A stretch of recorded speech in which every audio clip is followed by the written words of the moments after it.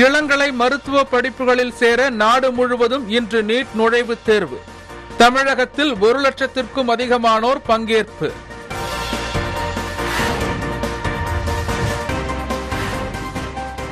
தமிழகத்தில் தொடக்க மற்றும் நடுநிலைப் பள்ளிகளை திறப்பது குறித்து வரும் பதினைந்தாம் தேதி அரசுக்கு அறிக்கை. பள்ளிக் கல்வித்துறை அமைச்சர் மகேஷ் தகவல்.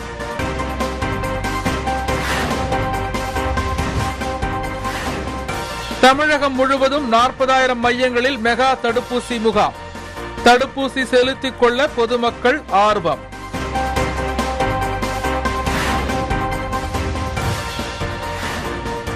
ஐந்து வயதுக்குட்பட்ட குழந்தைகளுக்கு நியூமோகாக்கல் தடுப்பூசி. தமிழகத்தில் இதுவரை எழுபத்தி இரண்டாயிரத்து அறுநூற்று அறுபது குழந்தைகளுக்கு போடப்பட்டுள்ளதாக சுகாதாரத்துறை தகவல்.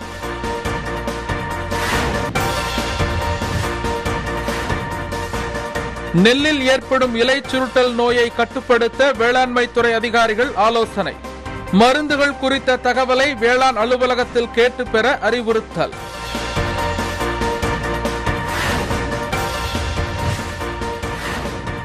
உடைப்பு ஏற்பட்ட கீழ்பவானி வாய்க்கால் கரை சீரமைப்பு பணிகள் நிறைவு. சோதனை ஓட்டமாக இருநூறு கனஅடி நீர் திறப்பு.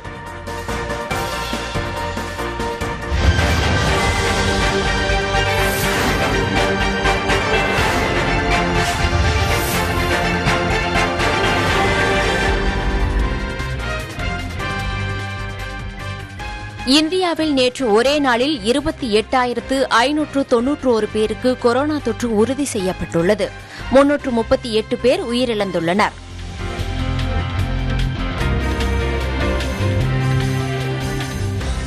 கேரளாவில் நேற்று ஒரே நாளில் இருபதாயிரத்து நானூற்று எண்பத்தி ஏழு பேருக்கு கொரோனா தொற்று உறுதி செய்யப்பட்டுள்ளது. நூற்று எண்பத்தி ஒரு பேர் உயிரிழந்துள்ளனா்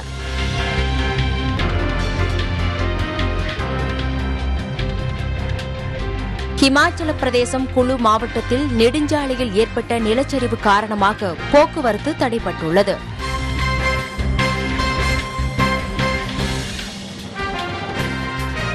குடியரசு துணைத் தலைவர் வெங்கையா நாயுடு இரண்டு நாள் பயணமாக இன்று புதுச்சேரி வந்தடைந்தார்.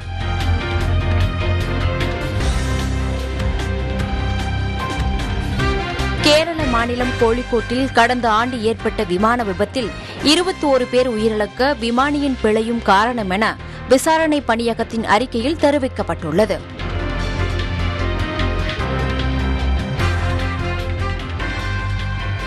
குஜராத் முதலமைச்சர் பதவியிலிருந்து விஜய் ரூபானி ராஜினாமா செய்துள்ள நிலையில் புதிய முதலமைச்சர் இன்று தேர்வு செய்யப்படுவார் என தகவல் தெரிவிக்கப்பட்டுள்ளது.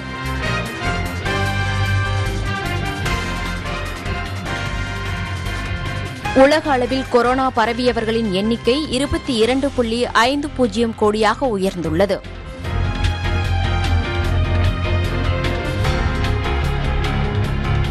மியான்மரில் ராணுவத்தினருக்கும் கிளர்ச்சியாளர்களுக்கும் இடையே ஏற்பட்ட மோதலில் இருபது பேர் உயிரிழந்துள்ளனர். ஈராக் விமான நிலையம் மீது ட்ரோன் மூலம் இன்று வெடிகுண்டுகள் வீசப்பட்டன. இதுகுறித்து விசாரணை நடைபெற்று வருகிறது.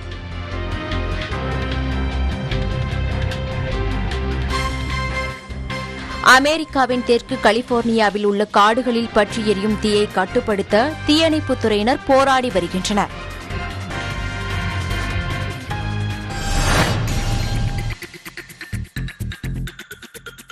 எம்பிபிஎஸ் பிடிஎஸ் உள்ளிட்ட இளநிலை மருத்துவ படிப்புகளில் சேருவதற்கான நீட் தேர்வு இன்று நாடு முழுவதும் நடைபெறுகிறது. தமிழகத்தில் நூற்றுக்கும் அதிகமான மையங்களில் ஒரு லட்சத்து பனிரெண்டாயிரம் பேர் தேர்வு எழுதுகின்றனர். பிற்பகல் இரண்டு மணி முதல் ஐந்து மணி வரை தேர்வு நடைபெறுகிறது. மாணவர்கள் தேர்வு மையத்தில் வழங்கப்படும் என் நைன்டி ஃபைவ் முகக்கவசத்தை மட்டுமே அணிய வேண்டும் என தேசிய தேர்வு முகமை அறிவுறுத்தியுள்ளது. ஹால் டிக்கெட் அடையாள அட்டை புகைப்படம் தவிர வேறு எதையும் தேர்வு மையத்துக்குள் எடுத்து செல்லக்கூடாது என்று தேசிய தேர்வு முகமை அறிவுறுத்தியுள்ளது.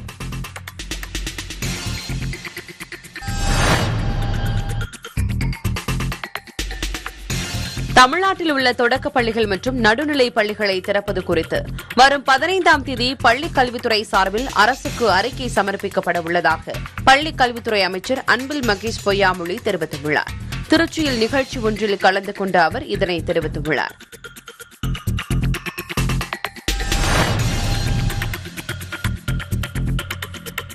தமிழகம் முழுவதும் கொரோனா தடுப்பூசி செலுத்தும் மெகா முகாம் இன்று நடைபெறுகிறது.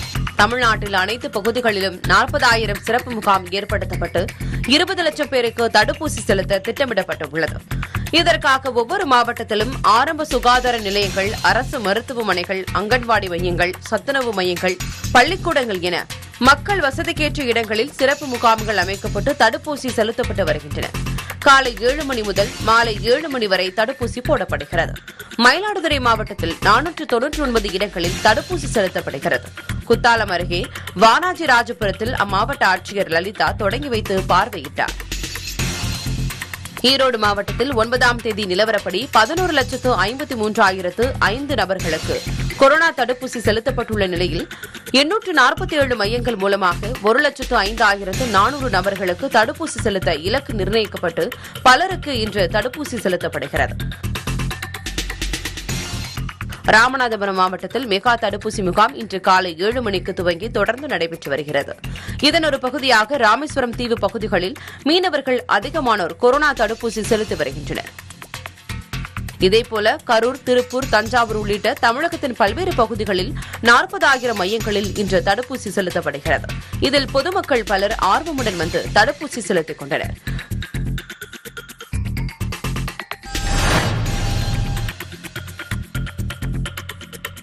ஐந்து வயதுக்குட்பட்ட குழந்தைகளை மூளை காய்ச்சல் நிமோனியாவிலிருந்து காப்பாற்றும் நியூமோகாக்கல் தடுப்பூசி இதுவரை எழுபத்தி இரண்டாயிரத்து அறுநூற்று அறுபது குழந்தைகளுக்கு செலுத்தப்பட்டுள்ளதாக சுகாதாரத்துறை அமைச்சர் மா. சுப்பிரமணியன் தெரிவித்துள்ளார். ஐந்து வயதிற்குட்பட்ட குழந்தைகளை அதிகம் பாதிக்கும் நியூமோகாக்கல் கிருமி நிமோனியா காதில் சீல்வழிதல் மூளைக்காய்ச்சல் ஆகியவற்றுக்கு காரணியாக உள்ளது. நிமோனியா நோய்க்கு தடுப்பு மருந்தாக நியூமோகாக்கல் கான்ஜுகேட் என்ற தடுப்பூசி பயன்படுத்தப்படுகிறது. தூத்துக்குடியில் நடைபெற்று வரும் தடுப்பூசி முகாமில் கலந்து கொண்ட சுகாதாரத்துறை அமைச்சர் மா. சுப்பிரமணியன் தமிழகத்தில் இதுவரை எழுபத்தி இரண்டாயிரத்து அறுநூற்று அறுபது குழந்தைகளுக்கு செலுத்தப்பட்டுள்ளதாக தெரிவித்தார். அந்த தடுப்பூசி முகாம் கடந்த மாதம் அது பூவிருந்தவல்லியில் தொடங்கப்பட்டு இந்த நியூமோகோக்கல் காஞ்சுகேட் ஐந்து வயதுக்கு உட்பட்ட அந்த குழந்தைகளுக்கு போடுகிற பணிகள் நடைபெற்றுக் கொண்டிருக்கிறது. இப்போது அது ஒரு முக்கால் லட்சத்தை தாண்டி இருக்கிறது எழுபத்தைந்தாயிரம் குழந்தைகளுக்கு அந்த தடுப்பூசிகள் போடுகிற பணிகள் நடைபெற்றுக் கொண்டிருக்கிறது. அதுவும் எல்லா இடங்களிலும் இதேபோல் முகாம்கள் நடத்தி போடப்பட்டுக் கொண்டிருக்கிறது. இதுவரை போடப்பட்டிருக்கிற அந்த நியூமோகோக்கல் காஞ்சுகேட் போடப்பட்டிருக்கிற குழந்தைகளின் எண்ணிக்கை எழுபத்தி ரெண்டாயிரத்தி அறுநூத்தி அறுபது குழந்தைகளுக்கு போடப்பட்டிருக்கிறது. தமிழகத்தை பொறுத்தவரை ஒன்பது லட்சத்தி இருபத்தி மூணாயிரம் குழந்தைகள் இந்த ஐந்து வயதுக்குட்பட்டவர்கள் இருக்கிறார்கள். அதில் இதுவரை இவ்வளவு குழந்தைகளுக்கு போடப்பட்டுக் கொண்டிருக்கிறது. அந்த பணியும் நடைபெற்றுக் கொண்டிருக்கிறது.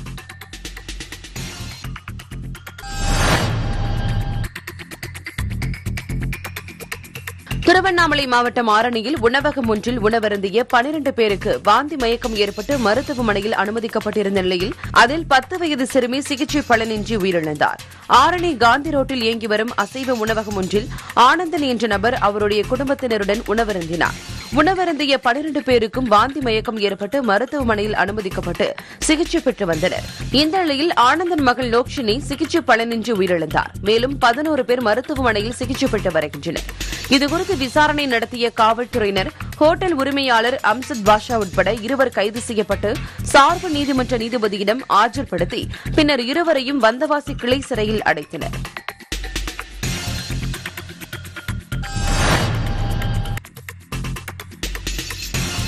கீழ்பவானி வாய்க்கால் உடைப்பு சீரமைக்கப்பட்டதை அடுத்து பவானிசாகர் அணையில் இருந்து இருபது நாட்களுக்கு பிறகு பாசனத்துக்கு மீண்டும் தண்ணீர் திறக்கப்பட்டுள்ளது. ஈரோடு மாவட்டம் அடுத்த நசிகினூர் மலைப்பாளையம் கீழ்பவானி வாய்க்காலில் கடந்த இருபதாம் தேதி உடைப்பு ஏற்பட்டு வாய்க்கால் நீர் கிராமத்துக்குள் புகுந்ததால் நீர் திறப்பு உடனடியாக நிறுத்தப்பட்டது. நூற்றி ஐந்து அடி நீர்மட்ட உயரம் கொண்ட பவானிசாகர் அணையிலிருந்து கீழ்பவானி வாய்க்காலுக்கு ஆண்டுதோறும் பாசனத்துக்கு தண்ணீர் திறந்துவிடப்படும் இதன் மூலம் ஈரோடு திருப்பூர் கரூர் மாவட்டத்தில் ஒரு லட்சத்து மூவாயிரத்து ஐநூறு ஏக்கர் விளைநிலங்கள் பாசன வசதி பெறுகின்றன. கடந்த ஆகஸ்ட் பதினைந்தாம் தேதி அணையிலிருந்து முதல் போக பாசனத்துக்கு கீழ்பவானி வாய்க்காலில் ஆகஸ்ட் இருபதாம் தேதி ஐம்பத்தைந்தாவது மைலில் உள்ள நசியனூர் மலைப்பாளையம் வாய்க்கால் கரையில் உடைப்பு ஏற்பட்டது. இதனால் வாய்க்காலில் சென்ற ஆயிரம் கன அடி நீர் ஊருக்குள் புகுந்து விவசாய நிலங்கள் பாதிக்கப்பட்டன. இதையடுத்து கீழ்பவானி வாய்க்காலில் தண்ணீர் திறப்பு உடனடியாக நிறுத்தப்பட்டது. கடந்த இருபது நாட்களாக கீழ்பவானி வாய்க்காலில் காங்கிரீட் தளம் அமைத்து கரையை பலப்படுத்தும் பணி இரவு பகலாக நடைபெற்றது. பணிகள் நிறைவு பெற்றதை தொடர்ந்து சோதனை ஓட்டமாக முதலில் இருநூறு கன அடி நீர் இன்று காலை திறந்துவிடப்பட்டது. புதிதாக கட்டப்பட்ட கரையில் கசிவு ஏற்படாமல் உறுதித்தன்மையுடன் இருப்பதை பொதுப்பணித்துறையினர் உறுதி செய்த பிறகு வாய்க்காலில் திறந்துவிடப்பட்ட நீரானது படிப்படியாக உயர்த்தப்படும் என தெரிவிக்கப்பட்டுள்ளது.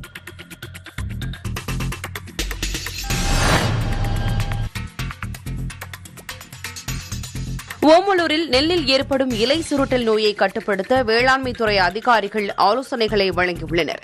சேலம் மாவட்டம் ஓமலூர் காடையம்பட்டி தாரமங்கலம் வட்டாரத்தில் ஆயிரம் ஏக்கர் பரப்பளவில் முதல் போக நெல் சாகுபடி செய்யப்பட்டு அறுவடைக்கு தயாராகும் நிலையில் தற்போது இரண்டாம் போக நெல் சாகுபடி பணிகளும் நடைபெற்று வருகின்றன. இந்த நிலையில் வளர்ந்து வரும் நெல் பயிரில் இலை சுருட்டை புழு தாக்குதல் நோய் தென்படுகிறது.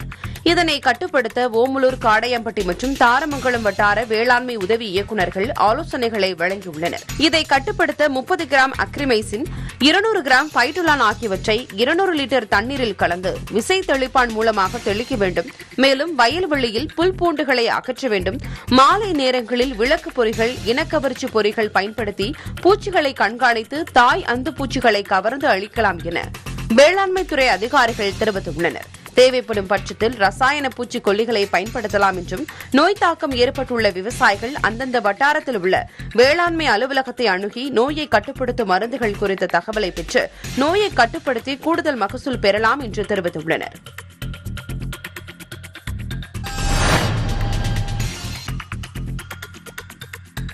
வெள்ளி கடற்கரையில் விநாயகர் சிலையை கரைக்க அனுமதி மறுக்கப்பட்டதால் உப்பநாற்றில் நூற்றுக்கும் மேற்பட்ட போலீசார் குவிக்கப்பட்டு விநாயகர் சிலைகள் கரைக்கும் பணி தொடங்கியது. கடலூர் மாவட்டத்தில் பல்வேறு இடங்களில் நீர்நிலைகளில் விநாயகர் சிலைகள் கொண்டு வந்து பொதுமக்கள் வழிபட்டு கரைத்துவிட்டு செல்லும் நிலையில் வெள்ளி கடற்கரையில் கரைப்பதற்கு அனுமதி மறுக்கப்பட்டுள்ளது. அருகில் உள்ள மீனவ கிராமத்தைச் சேர்ந்தவர்கள் மட்டுமே கடலில் கரைக்க வேண்டும் என்றும் மற்றவர்கள் ஆறு குளம் ஏரிகளில் சிலைகளை தனித்தனியாக வந்து கரைத்துவிட்டு செல்ல வேண்டும் என காவல்துறை மூலம் அறிவுறுத்தப்பட்டுள்ளது. அதனால் சிலைகள் கரைக்கப்படும் இடங்களில் ஆயிரத்திற்கும் மேற்பட்ட போலீசார் பாதுகாப்பு பணியில் ஈடுபடுத்தப்பட்டுள்ளனர். மேலும் கடற்கரைக்கு விநாயகர் சிலை கொண்டு வருவோரை தடுத்து நிறுத்தி உப்பநாற்றில் கரைத்துவிட்டு செல்ல காவல்துறையினர் அறிவுறுத்தி வருகின்றனர்.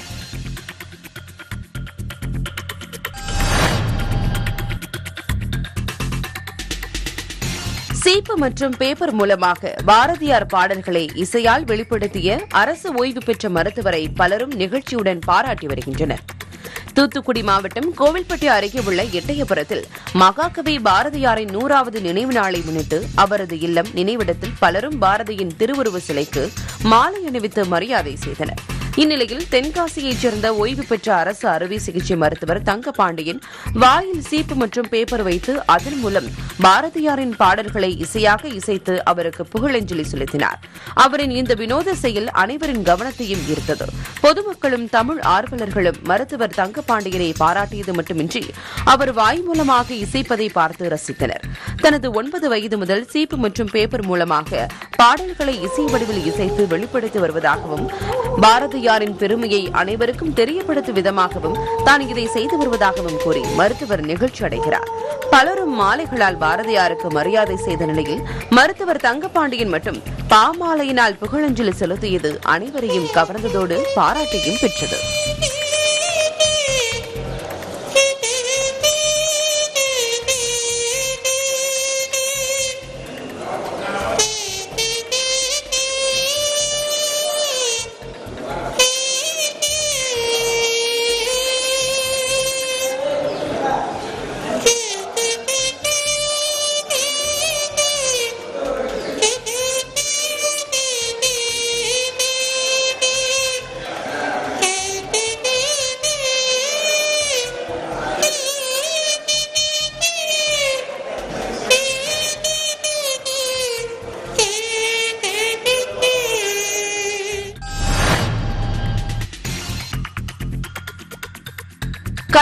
கன்னியாகுமரி மாவட்டம் நாகர்கோவிலில் மாநில அளவிலான கராத்தே போட்டிகளுக்கான வீரர் வீராங்கனைகள் தேர்வு நடைபெற்றது.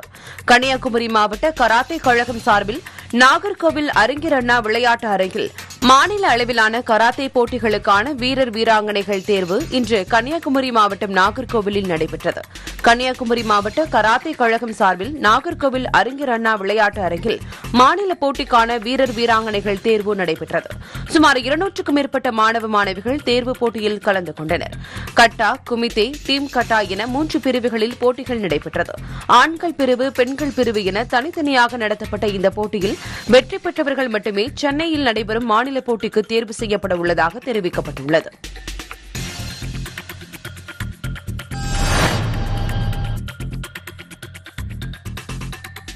கிருஷ்ணகிரி கேஆர்பி அணையின் நீர்மட்டம் ஐம்பது புள்ளி பத்து அடியாக உயர்ந்துள்ளது. தென்பெண்ணை ஆற்று நீர்பிடிப்பு பகுதிகளிலும் கிருஷ்ணகிரி கேஆர்பி அணை சுற்றுவட்டார பகுதிகளிலும் கடந்த சில நாட்களாக கனமழை பெய்ததை அடுத்து கிருஷ்ணகிரி அணைக்கு நீர்வரத்து அதிகரிக்க தொடங்கியுள்ளது. இன்று காலை நிலவரப்படி அணையின் மொத்த கொள்ளளவான ஐம்பத்தி இரண்டு அடியில் ஐம்பது புள்ளி பத்து அடியை எட்டியுள்ளது. அணைக்கு இருநூற்று தொன்னூற்று ஒன்பது கன அடி நீர்வரத்து உள்ள நிலையில் அணையிலிருந்து நூற்று எழுபத்தி ஏழு கன அடி உபரிநீர் திறக்கப்பட்டுள்ளது.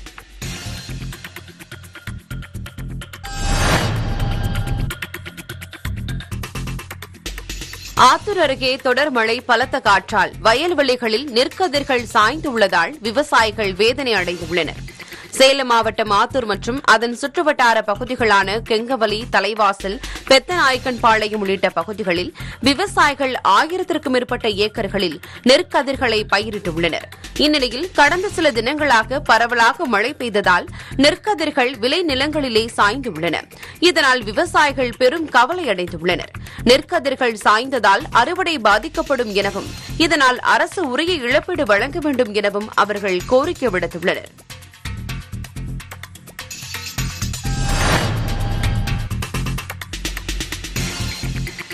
கும்பகோணம் நகராட்சியை மாநகராட்சியாக அறிவிக்க பேரூராட்சி மற்றும் உள்ளாட்சி பிரதிநிதிகள் மற்றும் அரசியல் கட்சி பிரமுகர்களுடன் தஞ்சை மாவட்ட ஆட்சித்தலைவர் தினேஷ் பொன்ராஜ் கருத்து கேட்பு கூட்டம் நடத்தினார். இதில் அனைவரது கருத்துகளையும் கேட்ட அவர் அந்த கூட்டம் மீண்டும் அடுத்த மாதம் நடைபெறும் எனவும் அப்பொழுது அனைவரது கருத்துகளையும் பதிவு செய்யப்பட்டு அதன் அடிப்படையில் ஆய்வு செய்யப்பட்டு அரசுக்கு அனுப்பி வைக்கப்படும் எனவும் அவர் தெரிவித்தார்.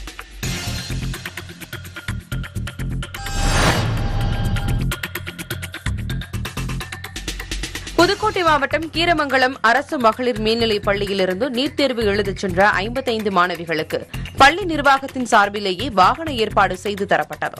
ஆசிரியர்கள் மற்றும் பெற்றோர்கள் ஏற்பாட்டின் பேரில் ஐந்து வாகனங்களில் திருச்சியில் உள்ள தேர்வு மையங்களுக்கு அவர்கள் பாதுகாப்பாக அனுப்பி வைக்கப்பட்டனா்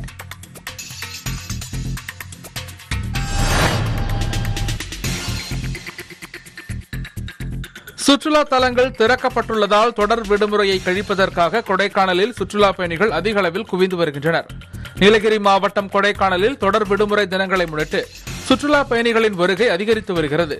கொடைக்கானலில் தற்போது திறக்கப்பட்டுள்ள சுற்றுலா தலங்களான மோயர் பாயிண்ட் ஃபைன் காடுகள் குணா குகை தூண்பாறை பிரைண்ட் பூங்கா செட்டியார் பூங்கா ரோஜா பூங்கா கோக்கஸ் வாக் உள்ளிட்ட அனைத்து சுற்றுலா இடங்களிலும் சுற்றுலா பயணிகள் குவிந்து வருகின்றனர். மேலும் ஏரியில் படகு சவாரி செய்தும் பயணிகள் மகிழ்ந்தனர். நீண்ட மாத இடைவெளிக்கு பிறகு அனைத்து சுற்றுலா தலங்களும் திறக்கப்பட்டுள்ளது. தங்களுக்கு மகிழ்ச்சி அளிப்பதாக சுற்றுலா பயணிகள் தெரிவித்துள்ளனர்.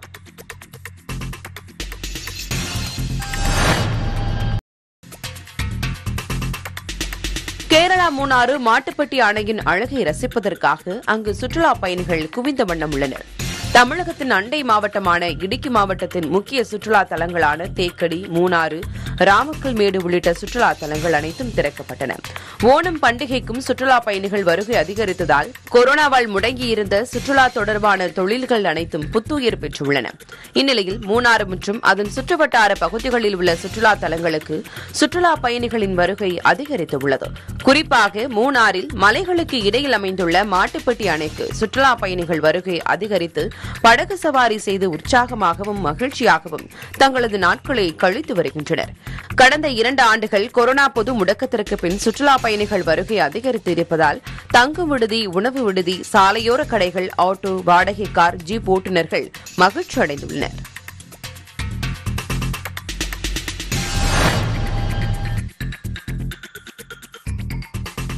அருப்புக்கோட்டை அருகே சிறுவர்கள் விளையாட்டாக நடத்திய விநாயகர் சதுர்த்தி ஊர்வலம் கான்பூரை கவர்ந்துள்ளது. கொரோனா பரவலை கருத்தில் கொண்டு பொது இடங்களில் விநாயகர் சிலைகளை வைக்கவும் ஊர்வலமாக எடுத்துச் செல்ல தடை விதித்து தமிழக அரசு உத்தரவிட்ட நிலையில் அருப்புக்கோட்டையில் தடையெல்லாம் உங்களுக்கு தான் எங்களுக்கு கிடையாது என ஏதுமறியா சிறுவர்கள் தாங்களே களிமண்ணால் செய்த சிறிய விநாயகர் சிலையை ஆட்டம் பாட்டத்துடன் ஊர்வலமாக கொண்டு சென்று நீர்நிலையில் கரைத்தனர். அன்பு நகரைச் சேர்ந்த சிறுவர்கள் களிமண்ணால் சிறிய விநாயகர் சிலைகளை உருவாக்கி அதை அட்டையில் வைத்து தூக்கிக் கொண்டு டயரில் பிளாஸ்டிக் பேப்பரை மாட்டி பறைபோல் செய்து இசைத்துக் கொண்டே ஆட்டம் பாட்டத்துடன் உற்சாகமாக ஊர்வலமாக வந்து அப்பகுதியில் செவல் கண்மாயில் உள்ள நீரில் கரைத்து மகிழ்ந்தனர்.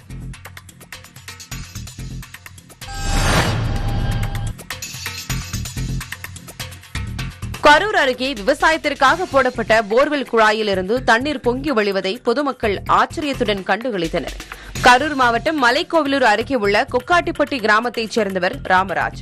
இவர் தனது தோட்டத்தில் விவசாய பணிக்காக நவீன ரக போர்வெல் இயந்திரம் மூலம் ஆழ்குழாய் கிணறு ஒன்றை தோண்டியுள்ளார். சுமார் தொள்ளாயிரம் அடி ஆழ்குழாய் கிணறு அமைக்கப்பட்ட நிலையில் அதிலிருந்து தண்ணீர் பீய்ச்சி கொண்டு வந்தது. இதையடுத்து கிணறு அமைக்கும் பணி நிறுத்தப்பட்டது. பணிகளை நிறுத்திய பிறகும் ஆழ்குழாய் கிணற்றிலிருந்து தண்ணீர் பொங்கி பிரவாகமாக பொங்கி விளைந்துள்ளது இதனை அந்த பகுதி மக்கள் ஆச்சரியத்துடன் பார்த்து சென்றனர்.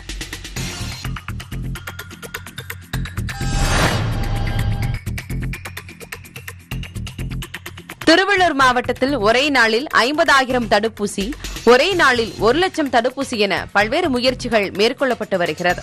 அந்த வகையில் திருவேற்காடு நகராட்சியில் அனைவருக்கும் கொரோனா தடுப்பூசி செலுத்த விழிப்புணர்வு ஏற்படுத்தி அவரவர்களுக்கு பூத் ஸ்லிப் வழங்கப்படுகிறது. இந்த பூத் ஸ்லிப்போடு வருபவர்களுக்கு குலுக்கல் முறையில் முதல் நான்கு பேருக்கு மிக்சி கிரைண்டரும் இரண்டாம் பரிசாக இருபது நபருக்கு ஹாட் பாக்ஸ் மூன்றாம் பரிசாக டிஃபன் கேரியர் என பரிசுகளை அறிவித்துள்ளது. இதனால் தடுப்பூசி செலுத்த மக்கள் ஆர்வம் காட்டுவார்கள் என எதிர்பார்க்கப்படுகிறது.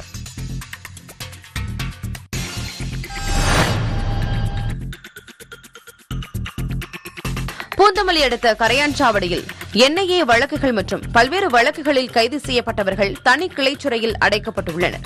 இந்த நிலையில் கோவிந்தன் என்ற போலீஸ்காரர் பாதுகாப்பு பணியில் ஈடுபட்டுக் கொண்டிருந்த போது செல்போனில் பேசிக் கொண்டிருந்ததாகவும் அப்போது அங்கு ஆய்வு செய்ய வந்த இன்ஸ்பெக்டர் சுரேந்திர நாயர் கோவிந்தனை பார்த்து செல்போனில் பேசிக் கொண்டிருக்கிறாய் பாதுகாப்பு பணியில் ஈடுபட மாட்டாயா? என்று கேட்டதாகவும் அப்போது போலீஸ்காரர் துப்பாக்கியை காட்டி இன்ஸ்பெக்டரை கொன்று விடுவதாக மிரட்டியதால் பரபரப்பு ஏற்பட்டது.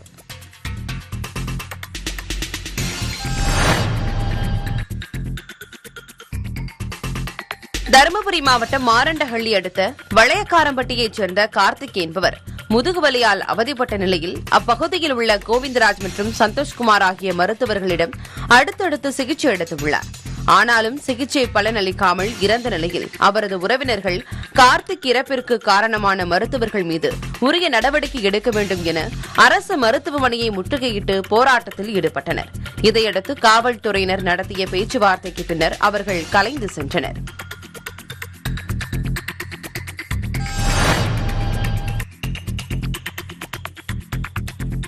தேனியில் நூறு சதவீதம் தடுப்பூசி போடுவதற்கு பல்வேறு பரிசு திட்டங்களை அறிவித்து மக்களை கவர்ந்து இழுத்த ஊராட்சி நிர்வாகத்தின் புதிய முயற்சியால் மக்கள் ஆர்வத்துடன் தடுப்பூசி போட்டு வருகின்றனர். தேனி மாவட்டத்தில் நானூற்று ஐம்பதுக்கும் மேற்பட்ட முகாம்கள் அமைக்கப்பட்டு தடுப்பூசி செலுத்தும் பணி நடைபெற்று வரும் நிலையில் பெரியகுளம் அருகே உள்ள எருமலை நாயக்கன் பட்டியில் மக்களை கவர்ந்தெழுக்கும் வகையில் முதலில் வரும் நூறு நபர்களுக்கு பரிசாக டிஃபன் பாக்ஸ் வழங்கப்படும் என தெரிவித்துள்ளனர். மேலும் ஏற்கனவே தடுப்பூசி போட்டவர்கள் மற்றும் புதிதாக போடுவோருக்கு குலுக்கல் முறையில் தேர்வு செய்யப்படும் நபர் நபர்களுக்கு முதல் பரிசாக வெட் கிரைண்டர் இரண்டாம் பரிசாக மிக்சியும் வழங்க ஊராட்சி மன்றம் நிர்வாகம் ஏற்பாடு செய்துள்ளன. இதன் மூலம் நூறு சதவீத தடுப்பூசி பணிகளை மேற்கொள்ள முடியும் எனவும் ஊராட்சியினர் நம்பிக்கை தெரிவித்துள்ளனர்.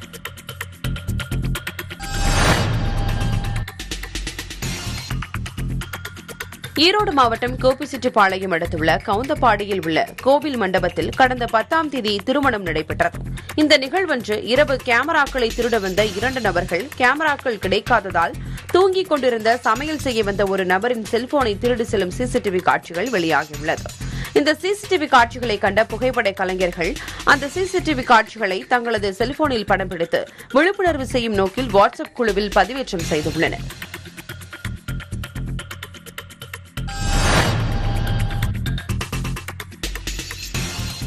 மக்களிடம் மக்களிடம் விழிப்புணர்வு ஏற்படுத்தும் வகையில் நாடு முழுவதும் எழுநூற்று பதினெட்டு மாவட்டங்களில் மிதிவண்டி பயணம் மேற்கொண்டு வருகிறார் கர்நாடகாவைச் சேர்ந்த மாணவர் சுதர்சனா. கர்நாடகா மாநிலம் சித்திரதுர்கா மாவட்டம் அனுமனஹள்ளி கிராமத்தைச் சேர்ந்தவர் சுதர்சனா. இவர் திறந்தவெளி பல்கலைக்கழகத்தில் இளங்கலை மூன்றாம் ஆண்டு படித்து வரும் நிலையில் மக்களிடம் விழிப்புணர்வை ஏற்படுத்த இவர் கன்னியாகுமரி முதல் காஷ்மீர் வரை கடந்த ஆகஸ்ட் பதினெட்டாம் தேதி முதல் விழிப்புணர்வு பயணம் மேற்கொண்டு வருகிறார்.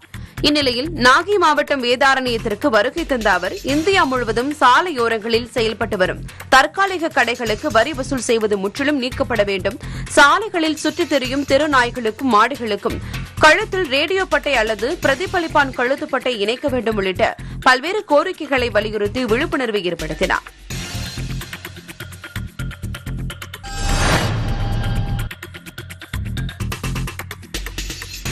மாவட்டம் மேட்டூர் அருகே உள்ள கூளையூரைச் சேர்ந்த விவசாயி சிவக்குமார் இவரது இரண்டாவது மகன் தனுஷ் பிளஸ் டூ முடித்த அவர் மருத்துவராக வேண்டும் என்ற கனவில் இரண்டு முறை நீட் தேர்வு எழுதியுள்ளார். இரண்டு முறையும் நீட் தேர்வில் தேர்ச்சி பெறவில்லை. இன்று மூன்றாவது முறையாக நீட் தேர்வு எழுதுவதற்காக தயாராகி வந்தார். அவருக்கு மேச்சேரியில் உள்ள தனியார் பொறியியல் கல்லூரியில் தேர்வு எழுத ஹால் டிக்கெட் வந்துள்ளது. அவர் தனது நண்பர்களிடம் மூன்றாவது முறையும் தேர்ச்சி பெறாவிட்டால் தனது மருத்துவர் கனவு கலைந்து போகும் என்று கூறி வந்துள்ளார். இந்த நிலையில் அதிகாலை அவர் அவரது தாயார் சிவஜோதி எழுந்து பார்த்தபோது மகன் தூக்கிட்டு இறந்து கிடப்பதைக் கண்டு அதிர்ச்சி அடைந்தார். சம்பவம் குறித்து தகவல் அறிந்த கருமலைக்குடல் காவல்துறையினர் சடலத்தை கைப்பற்றி பிரேத பரிசோதனைக்காக மேட்டூர் அரசு மருத்துவமனைக்கு அனுப்பி வைத்துள்ளனர். தமிழகத்தில் நீட் தேர்வில் பங்கேற்க இருந்த விவசாயி மகன் நீட் தேர்வு அச்சத்தால் தூக்கிட்டு தற்கொலை செய்து கொண்ட சம்பவம் அந்த கிராமத்தையே சோகத்தில் ஆழ்த்தியுள்ளது. அரியலூரில் தாங்கள்தான் நீதிபதி என கூறி சொத்து பிரச்சினை வழக்கில் ஏமாற்றியவர்கள் கைது செய்யப்பட்டுள்ளனர். அரியலூர் மாவட்டம் பார்ப்பனச்சேரி கிராமத்தைச் சேர்ந்தவர் செல்வி இவருக்கும் அவருடைய சித்தப்பாவிற்கு சொத்து பிரச்சினை இருந்து வந்த நிலையில் கடந்த ஏப்ரல் மாதம் அவர் காலமாகிவிட்டார். இந்நிலையில் மரிய சூசை வியாக்குளம் என்பவர் செல்வி வீட்டுக்கு சென்று தன்னை ஒரு நீதிபதி எனவும் இசைவு தீர்ப்பாயத்தின் தங்களுடைய சொத்து பிரச்சினை தொடர்பாக சித்தப்பா மனைவி மாரியம்மாள் மனு கொடுத்துள்ளதாகவும் இதை விசாரிப்பதற்காகத்தான் வந்துள்ளதாகவும் கூறியுள்ளார். பின்னர் ஒரிஜினல் டாக்குமெண்டை கொடுக்க வேண்டும் என கூறி ஒரு நோட்டீஸ் கையெழுத்து கேட்டுள்ளார். ஆனால் சுதாரித்துக் கொண்ட செல்வி மாவட்ட குற்றப்பிரிவு போலீசாரிடம் புகார் தெரிவித்தார். விசாரணைக்காக வந்த நீதிபதி போலியானவர் என்பது தெரியவந்தது. இதையடுத்து மரிய சுசை வியாக்குலமை போலீசார் கைது செய்தனர்.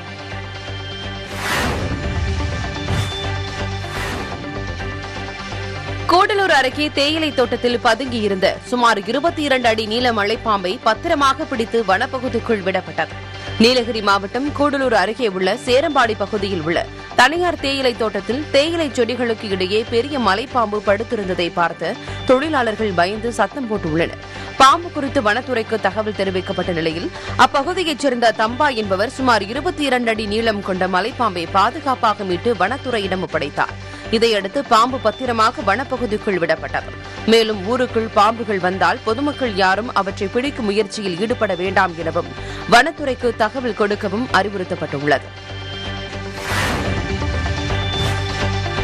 கொடைக்கானலின் முக்கிய சுற்றுலா தலங்களான தூண்பாறை மோயர் சதுக்கம் குணா குகை பகுதிக்கு செல்லும் மேல்மலை கோசன் சாலையோரங்களில் சீமை சவுக்கு மரங்கள் பல்லாயிரக்கணக்கில் உள்ளன. இம்மரங்களில் சில சாலையில் விழுந்தன. இதனால் போக்குவரத்து பாதிக்கப்பட்டு சுமார் ஒரு மணி நேரத்திற்கும் மேலாக பொதுமக்கள் வாகனங்களில் நீண்ட வரிசையில் காத்திருந்து விழுந்த மரங்களை அகற்றிய பிறகு சென்றனர். தேனி மாவட்டம் போடி இந்திரா காந்தி சிலை அருகே ஏலக்காய் வர்த்தக பஜார் இயங்கி வருகிறது. அதன் அருகே இருந்த சுமார் ஐம்பது ஆண்டுகளுக்கு மேலான பழமையான அரச மரத்தின் கிளை திடீரென முறிந்து அருகில் உள்ள மின்கம்பத்தில் விழுந்தது. இதில் மின்கம்பிகள் அருந்து விழுந்தது. ஆனால் அதிர்ஷ்டவசமாக யாருக்கும் காயம் ஏற்படவில்லை. உடனடியாக தகவல் தெரிவிக்கப்பட்டு மின்சாரம் நிறுத்தப்பட்டது.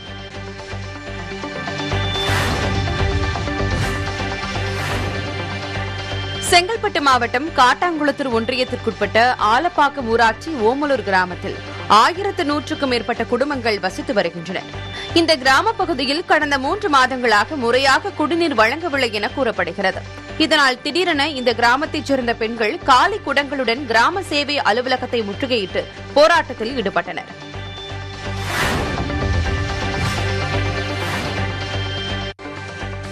நாமக்கல் மாவட்டம் திருச்செங்கோடு மேற்கு ரத வீதியில் அமைந்துள்ள இந்தியன் பேங்க் கிளையில் கொள்ளையர்கள் பாதுகாப்பு அறையை திறக்க முயற்சித்த போது முடியாததால் திரும்பி சென்றனர். இதுகுறித்து திருச்செங்கோடு போலீசார் நடத்திய விசாரணையில் திருச்செங்கோடு மாங்கோட்டை பாளையத்தைச் சேர்ந்த அஜித்குமார் மற்றும் சானார்பாளையம் பகுதியைச் சேர்ந்த எலி என அழைக்கப்படும் ஒரு சிறுவனம் இந்த சம்பவத்தில் ஈடுபட்டது தெரியவந்தது. இதனையடுத்து இருவரையும் நீதிமன்றத்தில் ஆஜர்படுத்தி போலீசார் சிறையில் அடைத்தனர்.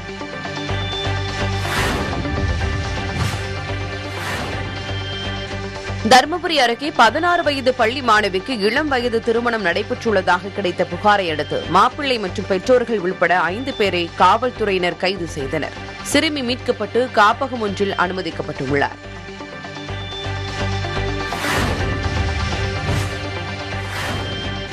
திருவள்ளூர் மாவட்டத்தில் ஒரே நாளில் ஆயிரம் முகாம்கள் மூலம் ஒரு லட்சம் தடுப்பூசி போட மாவட்ட நிர்வாகம் சார்பில் ஏற்பாடு செய்யப்பட்டுள்ளது. அந்த வகையில் ஆவடியில் நடைபெற்ற நிகழ்வில் தமிழக பால்வளத்துறை அமைச்சர் நாசர் சிறப்பு விருந்தினராக கலந்து கொண்டு ஊசி போட்டுக் கொள்வோருக்கு உணவு மற்றும் பழ வகைகளை அமைச்சர் வழங்கினார்.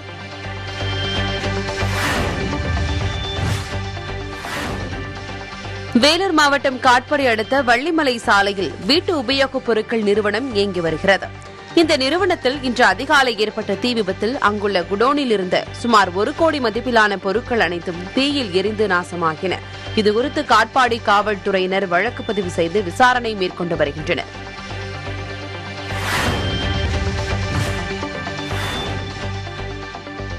நாகை மாவட்டத்தில் காவல்துறையினர் கீழ்வேலூர் கச்சனம் சாலையில் வாகன சோதனையில் ஈடுபட்டனர். அப்போது காரைக்காலில் இருந்து மூன்று பேர் ஓட்டி வந்த மோட்டார் சைக்கிள்களில் நான்கு சாக்கு மூட்டைகள் சாராயம் கொண்டு வந்ததை கண்டுபிடித்தனர். இது தொடர்பாக தினகரன் அன்புராஜ் மற்றும் மாயப்பிரகாஷ் ஆகியோரை போலீசார் கைது செய்தனர்.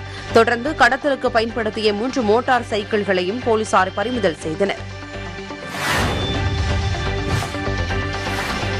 கிருஷ்ணகிரி மாவட்டம் ஓசூர் அடுத்த பச்சப்பனட்டி கிராமத்தைச் சேர்ந்த விவசாயி வெங்கடேஷப்பா ஒற்றை யானை தாக்கியதில் உயிரிழந்தார். தகவல் அறிந்து சம்பவ இடத்திற்கு வந்த வனத்துறை மற்றும் கெலமங்கலம் போலீசார் சடலத்தை கைப்பற்றி பிரேத பரிசோதனைக்காக மருத்துவமனைக்கு அனுப்பி வைத்து விசாரணை நடத்தி வருகின்றனர்.